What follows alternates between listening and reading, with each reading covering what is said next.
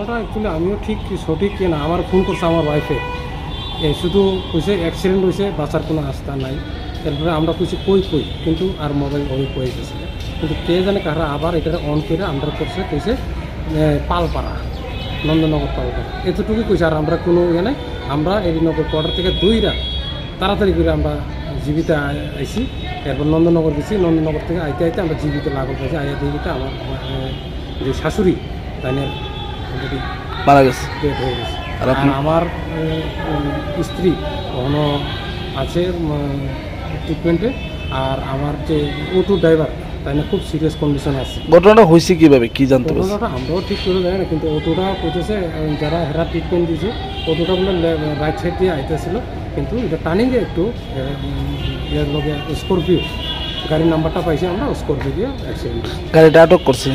গাড়িটা গাড়িটা আটক হয়েছে গাড়িটা আবার আমরা আইনা দিছে এরপরে ফেরার আর আমরা পাইছি না। কিন্তু নাম্বারটা একজনে আমরা হেল্প করছে ওই নাম্বারটা আমরা দিছি। গাড়িটা এখন কই? গাড়িটা এখন কইটাও আমরা জানি না।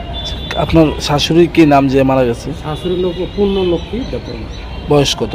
বয়স সেভেন্টি সিক্স আর আপনার আহত স্ত্রীর নাম কি? আমার স্ত্রীর নাম হলো শকুন্তলা দেববর্মা ব্র্যাকেট রুপিনী বাড়ি কোনখানে? বাড়ি এমনি তিনলে আমরা হাওয়াই বাড়ি আমরা নিয়ার নতুন বাড়ি করছি আমরা মদলিশপুর রানীর বাজার মদলিশপুর তো কোনখান থেকে কই যাইতে আসলো? রানীবাজার মদলিশপুর থেকে জীবিতে আসার সময় এই ঘটনা। ডাক্তার দেখাইতে? সব ডাক্তার দেখাতে আইতেছিল অটো ড্রাইভার অবস্থা কীরকম? ওখানে খুব সিরিয়াস কন্ডিশন ব্লাড দেওয়া লাগবে আমরা জানি। অটো ড্রাইভার কই আছে এখন? এখন হাসপাতালেই এডমিট আছে।